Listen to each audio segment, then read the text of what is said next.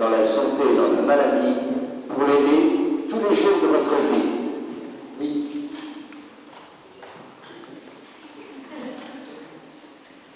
Mélanie, voulez-vous prendre Damien comme époux et promettez-vous de lui rester fidèle dans le bonheur et dans les épreuves, dans la santé et dans la maladie,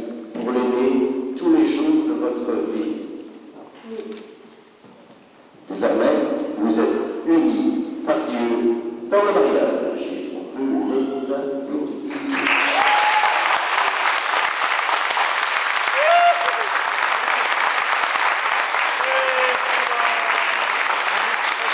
Bravo.